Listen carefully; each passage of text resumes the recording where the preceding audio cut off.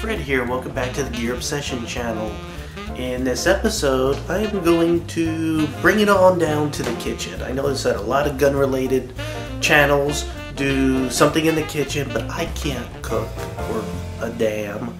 So I'm going to do something different. I'm going to show you how to make the world's best coffee. Now before we get started, I got a package in the mail. I want to open it because it came from somebody pretty special. And that person is Mad Bad Voodoo. He's done a lot to help my channel. And I, I can never say enough to show my appreciation to him for everything he's, he's done for me. And he sent me something. Oh, I'll tell you what. Hold on a minute. All right, here it is.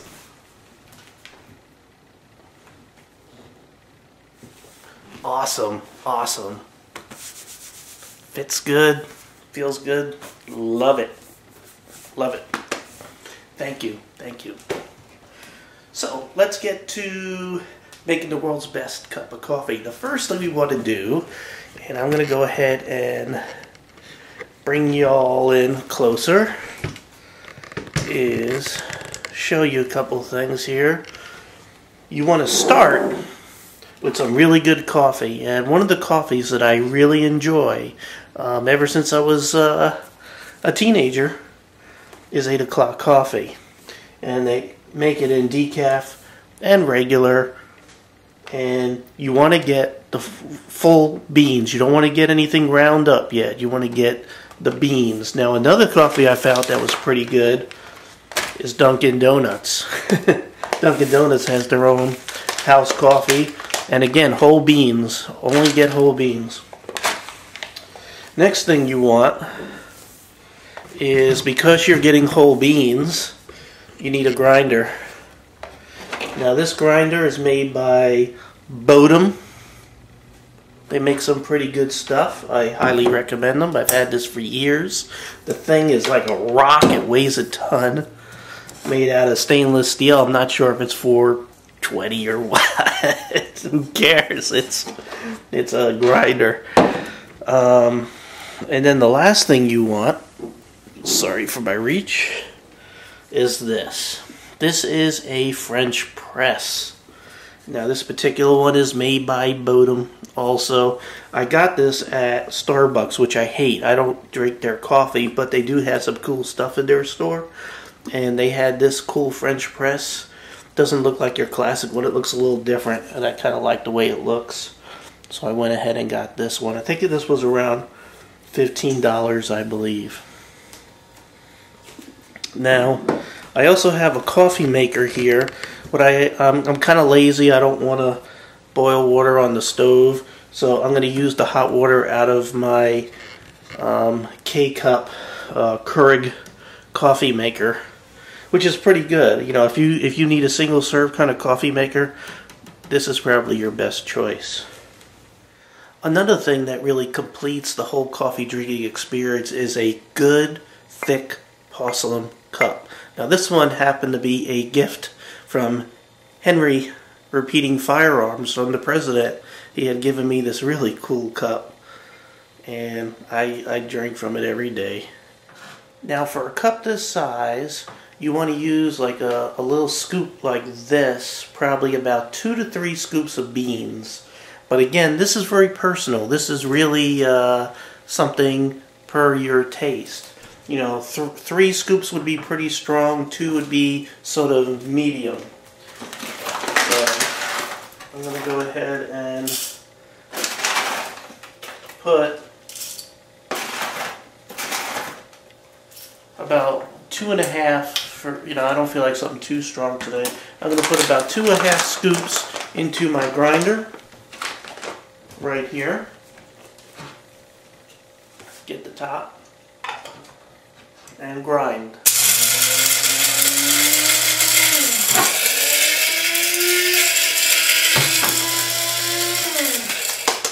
Now you don't want this to be ground too fine and the reason why is because on the French press, you have this um, screen, and if you do too fine, your coffee's going to go through that screen.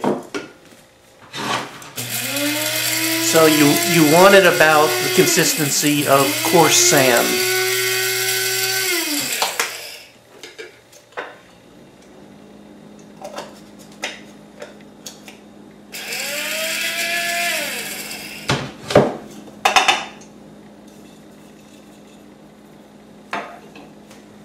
Okay, and then what you're going to do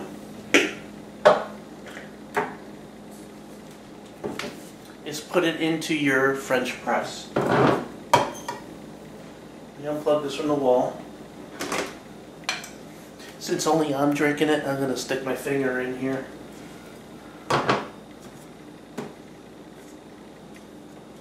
But if you have family over, don't do this. Use, use a spoon or something.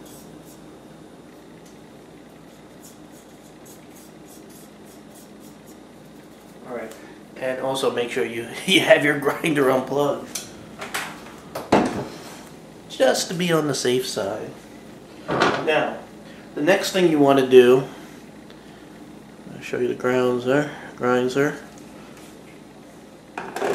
The next thing you want to do is you want to add water. Now that water has to be a certain temperature for this coffee to be right. It's very highly debated. Some people will stay 180, 185, 190, 200, even as high as 205. By the way, 212 degrees Fahrenheit is boiling. And you don't want it boiling. Um, you want to add water that is somewhere between 180 to 200 degrees. Again, it depends on your taste. And I, I sort of feel that the higher the temperature, the quicker the grounds are going to release their flavor. But if you go too far, or if you try to push too much water through grounds, it gets bitter. So you don't want to make it too hot, and you don't want to use more coffee than what the grinds can handle. So anyway, um, this is about the right amount of coffee for this cup. So, I'm going to go ahead and the monkey hits the button.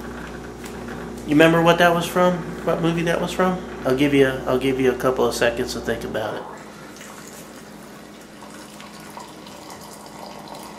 It was in the Lost in Space movie when the Jupiter 2 blasted off.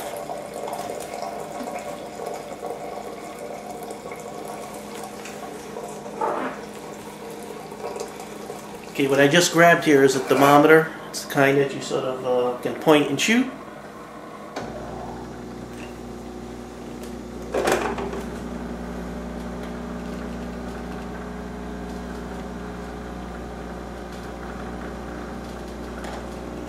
Uh, it's not really the ideal temperature there. So it's going to end up tasting a little weak, but since a little less water went in there than I anticipated. It should work out all right.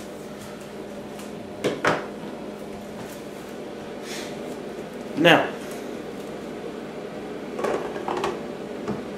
the next thing you want to do is sort of mix it up a little bit. Help help those coffee grounds release their flavor, sort of give it a spin. Really, if you have glass like this, you probably want to use like a wooden stick, not a spoon. If you do use a spoon, be very careful not to crack the glass. Now you want to let it sit for four minutes. Sit for four, four minutes, four minutes. Okay, it's been four minutes.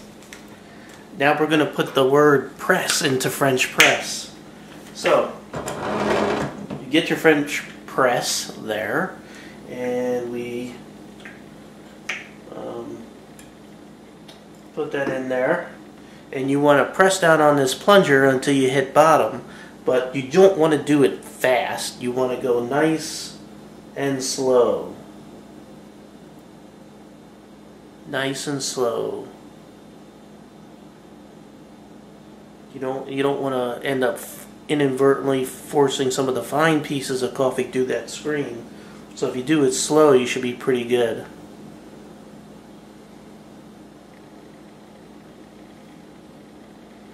Okay, and we're on the bottom. And now we are ready to pour. Okay, on this one, you sort of can uh, turn the cover till you get to where the vents are for the coffee to come through.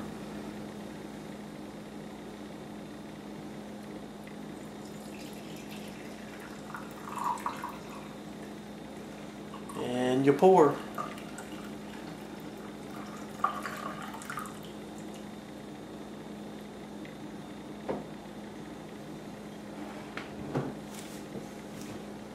Oh my god, you can't get this in a restaurant. Smell this. Smell that. Oh man, that's good. Oh, th th this is like the best coffee ever. Uh, yeah, y'all have no idea until you get a French press how good a cup of coffee can be. Now, the reason why I got this particular um, French press is because besides it looking cooler than the other ones is this whole handle portion which is plastic you could take out the glass and just clean the, the, the glass portion and of course you want to clean all this too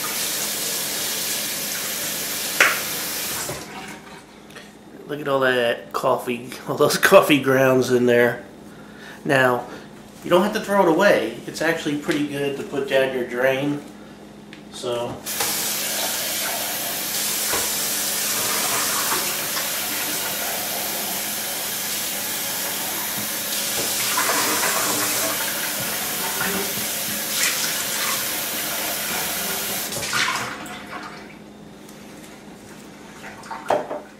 Some other coffees that I really enjoy um, are Kona, and not the Kona blend, the pure 100% Kona, and of course Colombian.